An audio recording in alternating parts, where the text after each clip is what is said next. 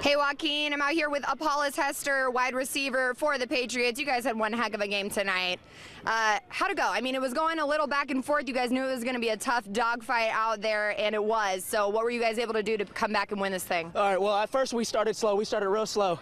And, you know, that's all right. That's okay because sometimes in life you're going to start slow. That's okay. We, we, we told ourselves, hey, we're going to start slow. We're going to keep going fast. We're going to start slow, but we're always, always going to finish fast. No matter what the score was, we're going to finish hard. We're going to finish fast. Yeah, they had us the first half. I'm not going to lie. They had us. We weren't defeated, but they had us. But it took guts. It took an attitude. That's all it takes.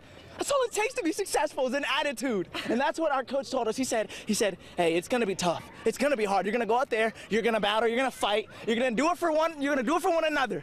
Do it for each other, you're gonna do it for yourself, you're gonna do it for us, and you're gonna go out with this win. And we believe that, we truly did. And it's, it's an awesome feeling. It's an awesome feeling when you truly believe that you're going to be successful. Regardless of the situation, regardless of the scoreboard, you're going to be successful because you put in all the time, all the effort, all the hard work, and you know that it's going to pay off. And if it doesn't pay off, you continue to give God the glory. If you still lose the game, you continue to get each other's back. And that and that's what we realized. Regard win or lose, we realized that we were gonna be all right.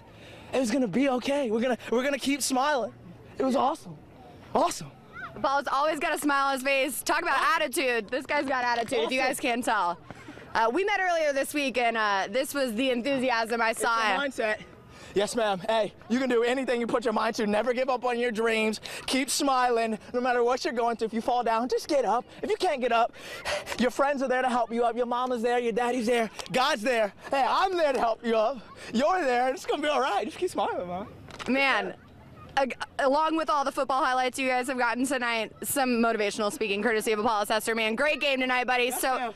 Yes, ma'am. Thank happy you. for you guys. Uh, this guy with one touchdown and a whole lot of sass coming out here for the East View Patriots. All right, guys, we'll send it back to you.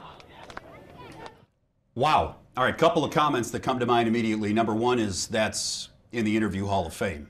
Can that we was please incredible. have that guy on every we, we single have him week? for every show. The second thing that comes to mind is I, I don't know about you, but I'm ready to run through a brick wall. if he doesn't make it I as mean, a football he pumped player, me up. he should be an inspirational speaker. That is incredible.